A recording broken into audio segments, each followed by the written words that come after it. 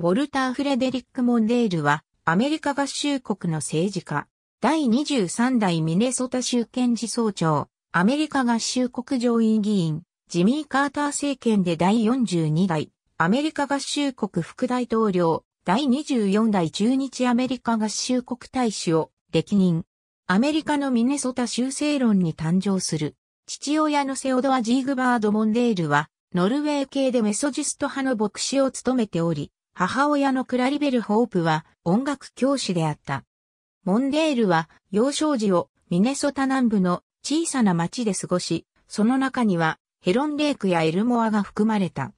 後の1980年、アメリカ合衆国大統領選挙で彼はそれらの町を故郷だとした。彼の異母兄のレスター・モンデールはユニテリアン派の牧師であった。モンデールはセントポールのマカレスター大学に入学したが、パブリック IB の一つであるミネソタ大学に編入し、1950年にミネソタ大学を卒業した。ロースクールに通うための経済的余裕がなかったため、アメリカ陸軍に入隊。朝鮮戦争時の2年、除隊後に福音兵援護法による奨学金を利用して、ミネソタ大学ロースクールに入学し、1956年に卒業した。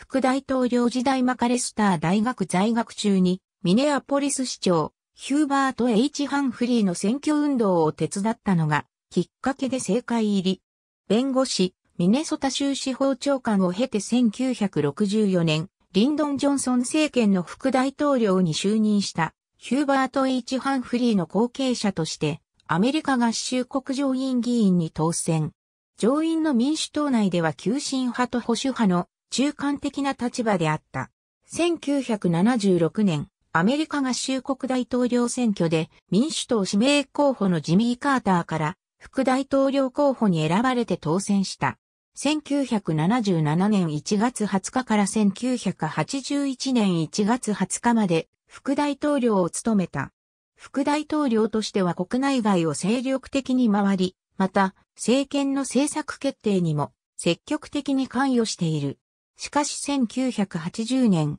アメリカ合衆国大統領選挙では、共和党のロナルド・レーガンとジョージ・ H.W. ブッシュに敗れゲアした。1984年、アメリカ合衆国大統領選挙では、共和党の現職であるロナルド・レーガン大統領に対する民主党の指名大統領候補者となり、雪辱に挑む。副大統領候補には、女性として史上初の二大政党指名候補となるジェラルディン、フェラーロ下院議員を立てた。選挙戦では、リベラル寄りの主張を展開し、レーガノミクスや軍拡路線を批判したが、選挙人投票において525票対13票という圧倒的大差をつけられ、歴史的大敗を喫する。ビル・クリントンによって民主党が政権ラッシュに成功すると、当初は中イギリス大使、中フランス大使への起用が検討されたが、これを固辞。